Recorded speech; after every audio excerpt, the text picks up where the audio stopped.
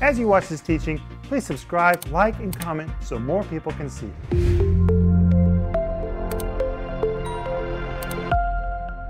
Hey, welcome to today's program. This is Rick Renner. I've been sitting right here waiting for our time together. And today we're going to return to the subject of dream thieves. Years ago, God called Denise and me and our sons to leave the secure United States where everything was so blessed and relocate to the Soviet Union that was falling to pieces. It was in a shambles. There was a deficit of everything. It was a place of great political turmoil, yet that's what God told us to do, and we obeyed Him. But when we got here, by the way, that's where I'm coming to you from today. This is our studio in Moscow. But when we got here, about 30 years ago, there were so many problems that we had to overcome. And God was telling us to launch a TV ministry to the 11 time zones of the former Soviet Union. No one had ever done that. Literally, no one. We were the first.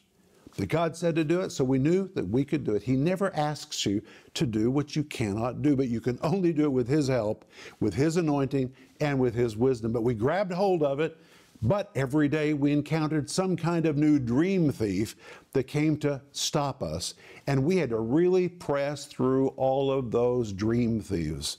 The reason I'm telling you this is because I want you to know the new series, which I'm offering you today, is based on a book that I wrote in those early times when we first moved to the Soviet Union. So this is not theoretical teaching. This is right out of our life, what we learned about overcoming those dream thieves, which the devil uses to stop us from doing what God has called us to do. And I want you to have the whole series. It's 10 parts. It is so filled with encouragement, comes with a great study guide. And of course, we're offering you my book by the same title. And today I want to read to you from page 91 just to get started. Listen to this. As you stand on your word from God and resolve to do what you need to do to fulfill the divine assignment God has given to you. You need to be aware of another extremely sinister and sneaky enemy that will try to steal the dream from your heart. This wicked foe doesn't come from the devil, nor does it necessarily come from your environment or your friends or your families. It comes from you. I'm talking about neutrality. Oh my goodness. You know, one time I was being interviewed on a TV program, and the interviewer said, Rick, please tell us what is the greatest enemy you've had to overcome in your life? And I quickly answered. The interviewer was shocked with my answer. I said, Me. I've learned that if I can overcome me, I can do anything that God will ever ask me to do. And my friends, overcoming you will be the greatest thing you'll ever do. If you can overcome you, you can handle anything else in life. And one thing we each have to overcome is neutrality, which comes to. Mm, Paralyze us so that we stop moving forward on this race that God has asked us to run. And today we're going to talk about getting beyond neutrality and allowing faith and patience to work together as partners to produce a powerful result in our life. I'll be back in just a moment. Stay tuned for a teaching you can trust, a message that will inspire, strengthen, and equip you with vital insights and understanding from the Word of God. Here is Rick. So far, we've seen there are five dream thieves that come to steal the dream of God from our hearts. Number one, time. Time has a way of wearing away at us, telling us just give it up, it's never going to happen. If you make it beyond time, then there's dream thief number two, which is the voice of the enemy, who says, You're crazy, you've lost your mind, God never gave you a word, you just made this up. And if you'll listen to him, he'll coax you into letting loose of your calling and your dream. Dream thief number three, the voice of your friends who love you and they don't want you to make a mistake. And when you say you're going to leave security and launch out to do something new, they may try to give you a more balanced perspective to talk you out of it. And if you make it beyond them, then there's the voice of your family. They really love you and they do not want you to make a mistake and they may t- try to talk you out of what you're about to do. But if you make it beyond all of them, then you come to dream thief number five, which is neutrality. And this is referred to in Hebrews chapter 6, verse 12, where the Bible says, That you be not slothful, but followers of them who through faith and patience inherit the promises. According to this verse, slothfulness will stop us from inheriting the promises of God. Well, what does the word slothful mean? You could actually translate it that you be not neutral. It's the Greek word nothros. It's really where we get the word neutral, and it depicts something that is slow and sluggish, something that's lost its speed or momentum. It conveys the idea of something that has lost the drive, the thrust, the impetus, the pace and speed that it once possessed. The idea of one whose zeal has now dissipated. It denotes a person who's become disinterested and whose zeal has been replaced with a middle of the road, take it or leave it mentality. It carries the idea of one who has a lethargic, lackadaisical, apathetic, indifferent, lukewarm attitude toward life, a non achiever or a non achieving attitude. That's what the word slothful means. It does not mean to be lazy. It doesn't even describe a person that's just sitting around. This may be a very active person, but inwardly they've really become neutralized. They've lost their momentum. They've lost their drive. They've lost their passion. This is so terrible that we read an example of it in Revelation chapter 3, verse 15, when Jesus addresses the church of Laodicea. Naturally, they had everything, but inwardly, they were lacking fire. Listen to what Jesus said to them in Revelation chapter 3, verse 15. I know thy works, that thou art neither cold nor hot. And then Jesus strangely says, I would that thou wert cold or hot. And for years, when I read that, it was a little confusing to me because it sounds worse to me to be cold. But yet Jesus said, I would that thou were cold or hot rather than be lukewarm. I know that you're neither cold nor hot. I would that you were one or the other. And then he adds in verse 16, So then, because thou art lukewarm, neither cold nor hot, I will spew thee out of my mouth. So, according to Revelation 3 15 and 16, it's better to be cold or hot than to be lukewarm. What is Jesus really talking about? Well, the city of Laodicea was in the very middle of the Lycus Valley on a hill. And in the city of Laodicea, there was no natural water source. And it was a very rich city, so they made a decision to transport water through pipes from Colossae, which was just a short distance away, and from Hierapolis. In Colossae, there were cold, refreshing waters that came down from the top of the mountains, and it was a resort city. And during the summers, people would go to Colossae to refresh themselves in the cool, refreshing waters. Over in Hierapolis were hot mineral springs, and people would go there to bathe in those springs because they were hot and they were healing, they were therapeutic. Both of these were good refreshing waters, healing, and therapeutic waters, but in Laodicea, they had no water. So the Laodiceans, because they were rich, said, Hey, here's what we'll do. We will develop the first engineering system of pipes in the history of the world, and we will transport hot water to our city, cold water to our city. No one had ever attempted this before, but the pipes were made out of clay that were filled with minerals. Well, by the time the cold water made it to Laodicea, it had lost its coldness. It was no longer refreshing. By the time the hot healing and therapeutic water made it from Hierapolis to the city of Laodicea, it had lost its therapeutic powers.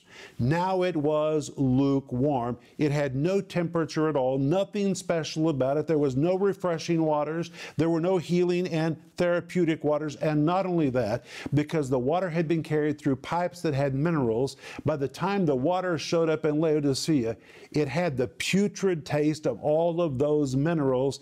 And when the people in Laodicea tasted it, it failed their expectations. Ah, they were so excited. This was the first engineering system of its kind. They were waiting to open the valves to experience the water, and when they tasted it, it was sickening and they spit it out.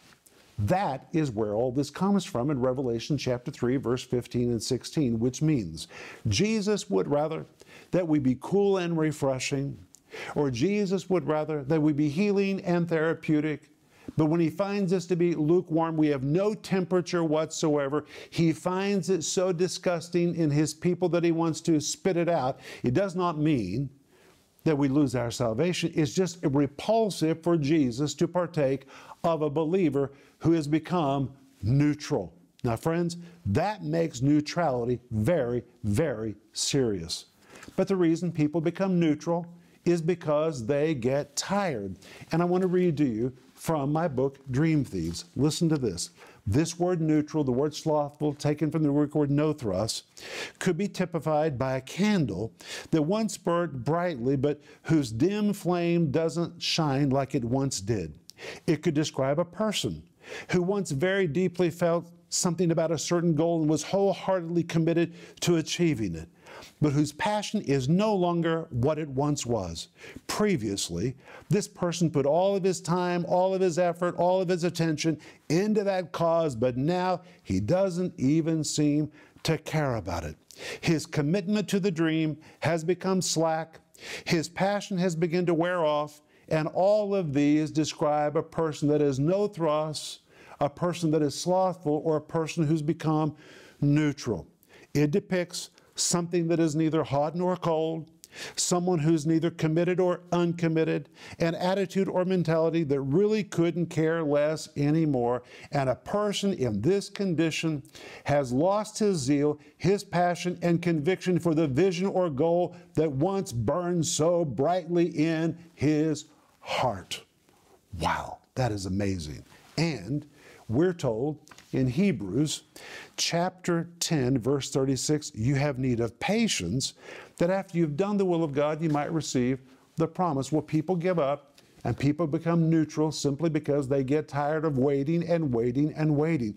That this verse says you have need of patience. The word need, the Greek word kreia, it depicts a deficit or shortage or a need. It's identifying a need or a deficit. You have a deficit of patience. And the word patience, the Greek word hupomene, a word which I've covered so many times in the program and will continue to do so in the future because it is so very important. It is the Greek word hupomene, which the early church called the queen of all virtues. They believed if you had this, you would always win. It wasn't a question of if you would win, it was just a question of when your victory would take place. This word patience would be better translated endurance. You have need of endurance. It means to stay or to abide, to remain in your spot, to keep a position, to resolve to maintain territory that's been gained. And in a military sense, it pictures soldiers who were ordered to maintain their positions even in the face of fierce combat. To defiantly stick it out regardless of pressures mounted against it, it depicts staying power, hang in there power, or I say, this word hupomene, here translated patience, which really is the word endurance, means the attitude that holds out, holds on, outlasts, perseveres, hangs in there, never giving up, refusing to surrender, and turning down every opportunity to quit. It pictures one under a heavy load, but who refuses to bend, break, or surrender because he is convinced that the territory promise or principle under assault rightly belongs to him. It can be translated as stamina or durability. Wow. And the Bible says if you'll stay in faith, if you'll continue to believe, you eventually will receive the promise. And the word receive, the Greek word komidzo, which means you're going to receive what you have coming to you. And what you have coming to you is the promise of God. What God has promised is exactly what God is going to do. But Hebrews 6, verse 12 continues to say, That you be not slothful, but followers of them who through faith and patience inherit the promises. And notice the word through. The word through in Greek is the word dia. It indicates instrumentality, which means there's two instruments that are required for you to do what God has called you to do. There are two instruments that are required for you to receive the promises of God. One is faith, and one is patience. You have to have both of these. Just like it takes a man and a woman to produce a child, you have to have faith and patience. Some people say all you need is faith. But my friends, that is just as ridiculous as a man who says, I'm going to have a baby by myself. I really want to have a baby. He's not going to have a baby without a spouse. He's got to have a spouse to sow his seed into, and the two of them together will produce a child. Think how ridiculous it would be for a woman who's never been married. She has no spouse, but she wants to have a baby. She declares she's going to have a baby. That is ridiculous unless you're the Virgin Mary. It takes a man and a woman to produce a child. It takes faith and patience working together to give birth to the promises of God. That word patience, again, the Greek word hupomene, stamina durability, the ability to hang in there. Faith believes it is the initiator, but it is sown into patience, and the two of them together give birth to the promises of God. And the Bible is filled, filled, filled with examples of individuals who had a word from God, but the word did not come to pass quickly. It came to pass over a period of time. They had to have patience as they waited for their due season. And that leads us to Galatians chapter 6, verse 9, which says, And let us not be weary in well doing, for in due season we shall reap. Then he adds, If we faint not. But notice he says, Let us not be weary. The word weary is the plural word in kakomen. The word in means in, kakomen means the evil. You compound the two words together. It means to give in or to surrender to that which is evil or bad, which means when you give up and walk away from what God told you to do, God views this as being evil. Don't surrender to the urge to give up. Don't let neutrality get you. You've got to sow your faith into patience and wait. And that's why the rest of the verse says, For in due season we shall reap. That's a promise. You shall reap in due season if you faint not. What does the word faint mean? It's a form of the Greek word ekluo. The word ek means out. The word luo means to loosen. You compound the two words together. It means to faint, to let go, to loosen up, to relax, to lose altogether, to release, to surrender, to grow weary, to give up. It is the image of one who relinquishes his grip on an object or principle because of exhaustion, exasperation, or weariness. It depicts a relaxed mental state that results in loss. It depicts one so weary that he gives up and forfeits what he has long waited for. He was right on the brink of receiving it, but he faints. He loosens his grip, he releases it, he lets it go, and when he does so, he forfeits the thing he was about to receive. Well, in Habakkuk chapter 2 and verse 3, the Bible tells us, And the Lord answered me and said, Write the vision, make it plain upon tablets, that he may run that reads it.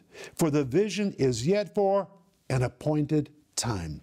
But at the end it shall speak, it shall not lie, though it tarry, wait for it, because it will surely come, it will not tarry. People read this and they run into those words an appointed time and realize that sometimes the dream that God gave us doesn't come to pass by tomorrow. It may not come to pass by next week, maybe not even by next year. There is an appointed time, but the Word of God promises, though it tarry, wait for it, don't give up, endure, be patient, because it will surely come. It shall not tarry. And my friend, I speak that to you today. God is not a man that he could lie. He's not the Son of Man that he changes his mind. The gifts and callings of God are without repentance. What God says he's going to do is precisely what he will do. He needs you to embrace the word from God, embrace the call, embrace the dream, and stand by it. And that's why Hebrews 10, verse 23 says, Let us hold fast. Let us hold fast the profession of our faith without wavering. Oh, if you don't hold fast, you will waver. What does the word waver mean? The word wavering is a form of the Greek word klino. Listen to this. It means to bow down, to slope the shoulders, to bend over, or even to go to bed. It means to give up, to yield, to bend, to give ground to, and it is the very word in the New Testament translated or be, as bed or pallet that one sleeps on. And it literally means if you don't hold fast, the dream thieves of life will get to you, including neutrality, which is your own personal problem that you have to overcome by crucifying your flesh, grabbing hold of the power of the Holy Spirit. But if you don't deal with it, you'll end up wavering, which means you'll get so exhausted, so exasperated, you'll slope your shoulders, you'll begin to bow low, say, Somebody, please give me a chair. I'm so tired of standing in faith. Ugh, this chair is not enough. Somebody give me a bed. And you'll go to bed on your faith. Do not go to bed on your faith. Don't do it. Don't do it. We're told in Philippians 1 6, being confident, being confident of this very thing, that he which began a good work in you will perform it until the day of Jesus Christ. And in Hebrews 10, verse 23, again, we're told, let us hold fast the profession of our faith without wavering. Why? For he is faithful that promised. Your due season is coming your way. And if you will stand in faith, and if you will abide in patience, these are twins. This is a marriage made in heaven. When faith and patience are working together, they always produce the promises of God. And if you're the one who says, Well, why should I just keep waiting, waiting, waiting? Because the end of Hebrews, verse chapter 10, verse 23 says, He is faithful that promised. God is going to do exactly what He says He'll do. He just needs you to stay in faith and in patience until you receive. I'll be back in just a moment and I want to pray for you. Many people start out with a God given dream and a passion to see that word from the Lord fulfilled in their lives. But the longer it takes for the dream to come to pass, the less their hearts burn for it, until sadly they release God's dream for their lives altogether, letting it slip out of their hearts and hands and into oblivion. You need to know as you pursue your dream that you'll encounter dream thieves that will try to steal the dream from your heart. And in this 10 part series, Dream Thieves, Rick Renner will show you how to identify these dream thieves and how to overcome each of them. In this series, you'll learn how to hold fast to the dream God put in your heart, how to identify dream thieves that come to steal your dream, how to come into divine alignment with God's plan for your life, how to take steps to fulfill your dream. This practical and helpful 10 part series is available in digital or physical formats starting at just $20. In addition, we're also offering you the 254 page book Dream Thieves for $15. As you read this book, God's purpose for your life will be so stirred up in you that you'll put questions and fears aside and begin to aggressively pursue what God has been telling you to do.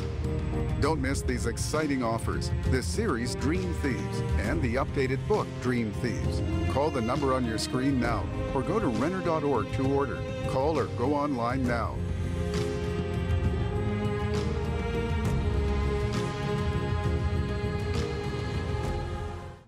In a culture where Santa seems to overpower the reason for the season, it's time to return to the true meaning of Christmas. In Rick Renner's timeless new book, Christmas the Rest of the Story, Rick uncovers the stunning details of the Nativity story you have never heard. Details like who exactly was Joseph, the father of Jesus? Why did God choose Mary? What was the star that guided the wise men? Who were the wise men who came to see Jesus? How far did they travel? And what was the value of the gifts they brought to Christ?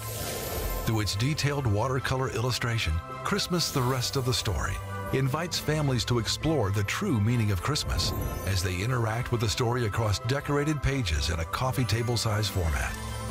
When you call or go online right now to pre order this book for just $35, you will receive the eternal story of Christmas, now beautifully told in this timeless keepsake.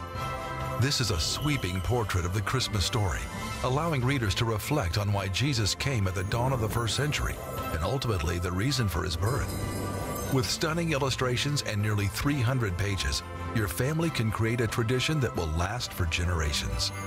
Great as a gift or enhancing your own traditions, pre order the book today. Christmas, the rest of the story for just $35. Call now or go to Renner.org to order. Don't miss this special Christmas offer.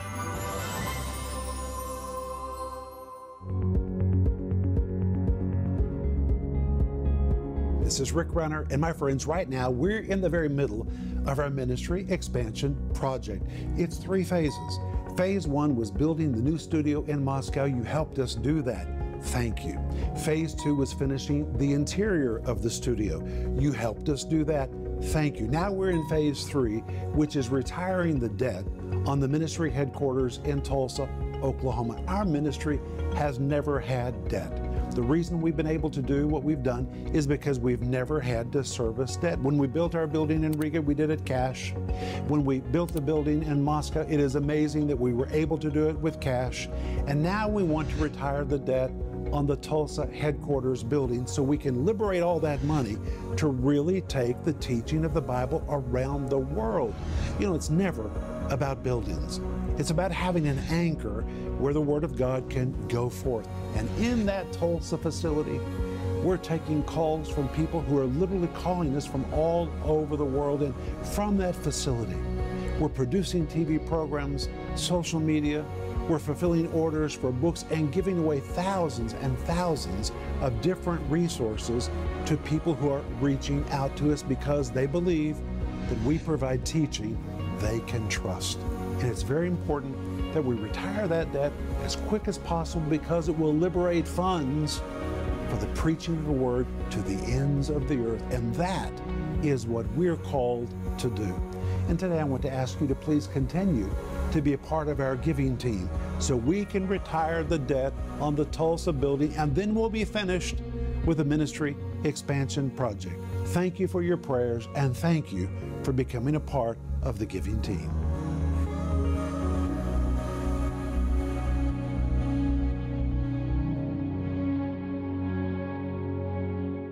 Today, while I've been speaking to you, I've sensed that many of you need prayer. You're standing in faith, but you're tired and you need spiritual fortitude. Would you give us a call or send us an email? Let us know how we can pray for you, and we'll pray for the power of the Holy Spirit just to give you all the strength and all the stamina you need to maintain your ground until you have received what God has promised to you. But give us a call or send us an email, and we will immediately begin to pray for you. And when you reach out to us, be sure to order your series called Dream Thieves Overcoming Obstacles to Fulfill Your Dreams. It comes with a wonderful study guide and it comes with a book by the same title. And I've been teaching from this book. And again, this book is not a theoretical exercise. This was born right out of my own life. As Denise and I and our sons and our ministry have learned to overcome many, many dream thieves that have tried to stop us. But we've learned that if you're determined, and if you're willing to do whatever God tells you to do, you can push through every obstacle and step into the very thing God said He wanted to do in your life. But you've got to partner with God to do it, and it takes faith and it takes patience. Both of these always give birth to the promise of God. But Father, I thank you that you tell us that through faith and patience we inherit the promises. Help us to believe and help us to stay in faith for as long as it takes until we see the manifestation of what you've said you want to do in our lives. In Jesus' wonderful name, amen. Hey, I'll be back tomorrow, but remember Ecclesiastes 8 4, where the word of a king is, there's power. Thank you for joining Rick Renner today. For more information about Renner Ministries and product resources, visit renner.org and connect with us on Facebook, Twitter, and Instagram.